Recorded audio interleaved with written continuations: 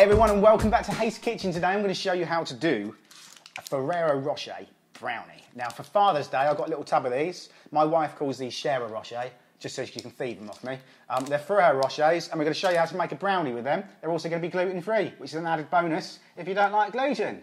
Um, so what we got ingredient wise, we have got four ingredients, so it's really complex. We've got Nutella, which is essentially what's in the centre of one of these. We've got some hazelnuts, which again is in the centre of one of these. We've got two eggs and we've got a cup of self-raising gluten-free flour. That is it. So, how are we going to make these? It's going to be complex stuff.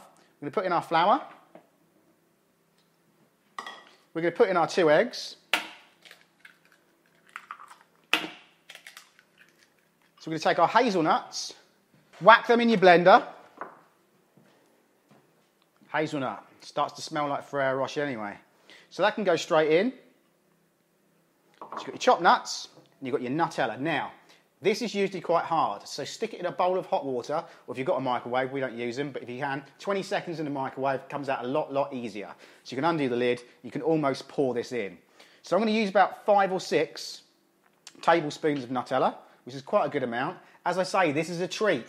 Don't eat all the brownie.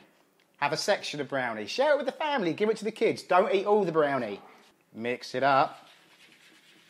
So the reason why we heat that Nutella up is that then it doesn't all stick together. You can get it all together nice and sloppy. Put a dash of hot water into your Nutella. Just pour that in. So just keep stirring that.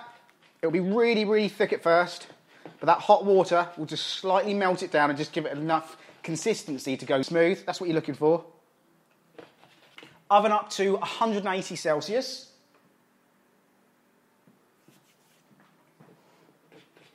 So that is the consistency you're looking for. What's not to love there? Get yourself a bowl, bit of greaseproof paper over the top. you can use coconut oil in here or just a little bit of butter just so it doesn't stick. Coconut oil all the way around the edge of the pan. Once you've got that sorted, all you're going to do is pour your mix in all over. Give your paper a little shuffle round.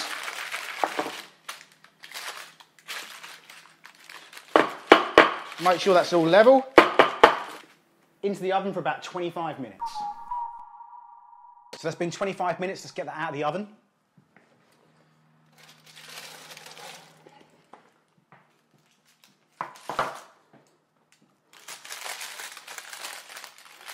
Smells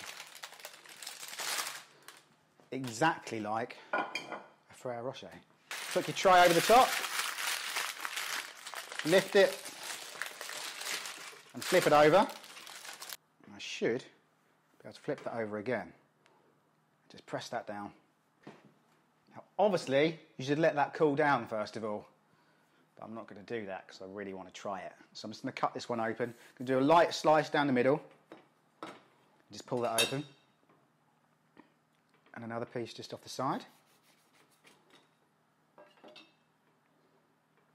I'm just going to snap a piece of that off.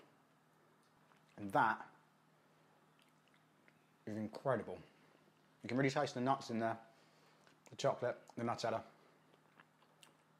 And I can't stop eating it. Mm. So there we go, there's my gluten-free Ferrero Rocher cake hopefully recreate this one. If you do, copy me in at Instagram, Haste Kitchen. Now, please go to my new website. It's live, www.hastekitchen.com.